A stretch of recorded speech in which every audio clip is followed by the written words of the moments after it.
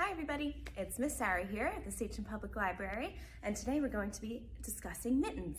So we're going to read A Mountain of Mittens by Lynn Plourde and then we're going to do a mitten craft and then I will teach you a mitten song. So here is A Mountain of Mittens by Lynn Plourde. It was that time of year again. Don't forget your mittens at school, yelled Molly's parents. Nope, I won't, answered Molly. Molly still had her mittens during morning recess, during lunch recess, and during afternoon recess. But just as she put on her mittens to leave school at the end of the day, she heard a teensy-weensy sneeze. Achoo! There, shivering and quivering in a corner of the terrarium was the class turtle, Myrtle. Achoo! Achoo! Oh, bless you, bless you, Myrtle Turtle. You must be catching a cold, said Molly. Here, cuddle in my mittens. They'll keep you warm. After school, Molly's teacher, Mr. Jolly, discovered Molly's mittens, along with a few other mittens. He put them in the lost and found pile and mumbled, they forgot their mittens. Mittens, mittens, my oh my, a mountain of mittens piled up high. The next day, Molly's parents velcroed Molly's mittens to her jacket. So did the other kids' parents. Don't forget your mittens at school, yelled Molly's parents. Nope, I won't. No way, answered Molly. Molly still had her mittens during morning recess, during lunch recess, and during afternoon recess. But at the end of the day, Molly and her whole grade practiced their winter musical on stage with Miss Holly, the music teacher. Miss Holly played the piano with her fingers and jingled bells with her toes as Molly and all the other students fa-la-la'd in their winter clothes. They even practiced opening and closing the stage curtains and taking a bow. After school, Miss Holly discovered Molly's mittens, along with a few other mittens. She put them in the lost and found pile and mumbled and grumbled, they forgot their mittens. Mittens, mittens, my oh my, a mountain of mittens piled up high. The next day, Molly's parents crocheted her mittens together with a chain of yarn. So did the other kids' parents. Don't forget your mittens at school, yelled Molly's parents. Nope, I won't. No way, no how, answered Molly. Molly still had her mittens during morning recess, during lunch recess, and during afternoon recess. But just as Molly put on her mittens at the end of the day for the ride home, Mr. Golly's bus, Mr. Golly's bus went slippery slide sloosh and slid off the road. Oh, golly, Mr. Golly, said Molly. Don't worry, we'll help. Molly and the other students used the yarn chains on their mittens to lasso, yank, tug, and pull the bus back onto the road. After all the students were safely bused home, Mr. Golly discovered Molly's mittens, along with a few other mittens. He drove back to the school, put them in the lost and found pile, and mumbled and grumbled and rumbled, They forgot their mittens! Mittens, mittens, my oh my, a mountain of mittens piled up high. The next day, Molly's parents duct taped Molly's mittens to her jacket. So did the other kids' parents. Don't forget your mittens at school, yelled Molly's parents. Nope, I won't. No way, no how, not me, answered Molly. Molly still had her mittens during morning recess, during lunch recess, and during afternoon recess. But at the end of the day, just as Molly put on her mittens, the, the principal, Mrs. Folly, called an emergency assembly. Mrs. Folly announced into the, microphone, into the microphone, no one, and I repeat, no one, will be allowed to leave school today until you all reclaim your mittens from the lost and found pile. It's very serious. Yikes, said Molly. The bus is waiting. So she dove into the lost and found pile, along with a few other students. Grip, stick, stuck. Molly and the other students were duct taped to the pile. Oh no! Holy mittens, yelled Mrs. Folly. We can't have our students stuck at school overnight. So Mrs. Folly hollered, help!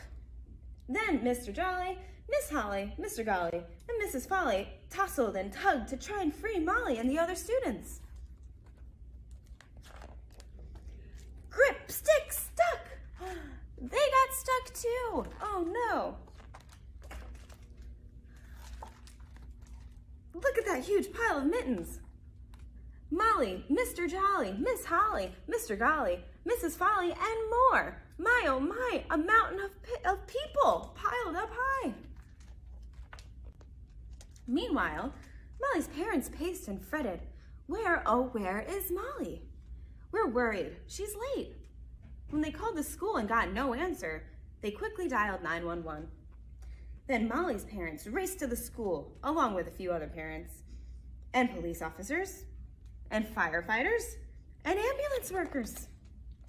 With special snip, snapping, cutting equipment and super duper teamwork, everyone was freed from the duct tape in no time flat.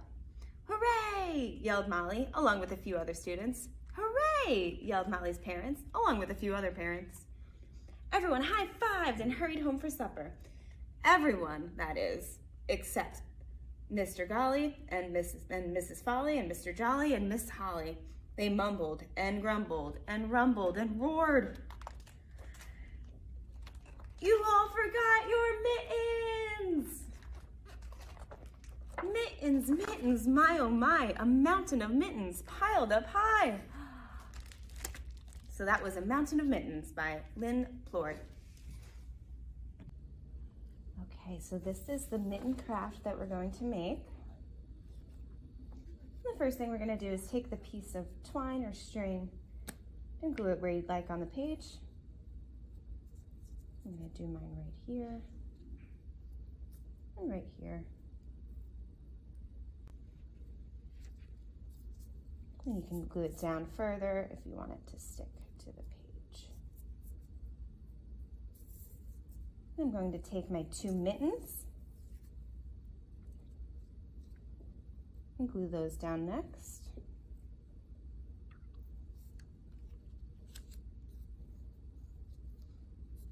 You want to get the, those edges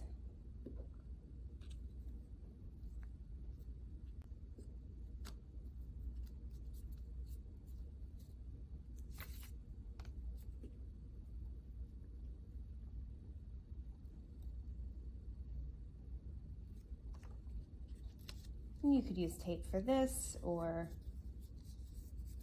a bottle of glue instead of a glue stick. And then you're gonna take your two cotton balls and then you just want to spread them out so that they have the appearance of snow at the bottom of the mittens. So we'll glue that first one down.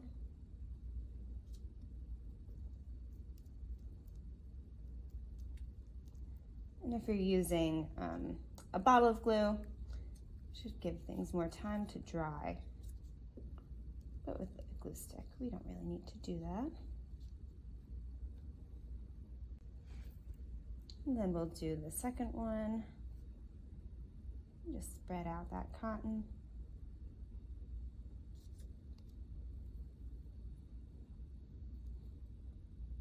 And glue it on the bottom.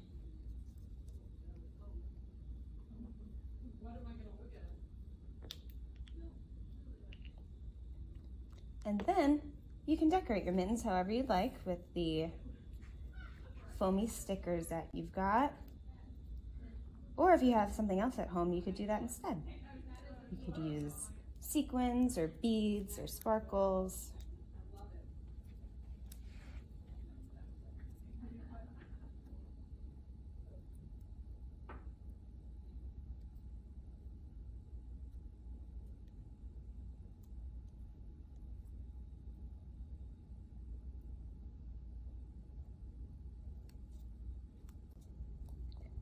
So I think I'm going to use blue and yellow and orange for my left mitten. And then for my right mitten, I'll use red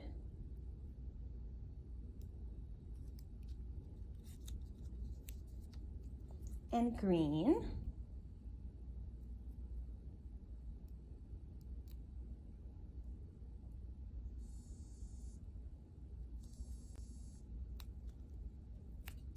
And yellow.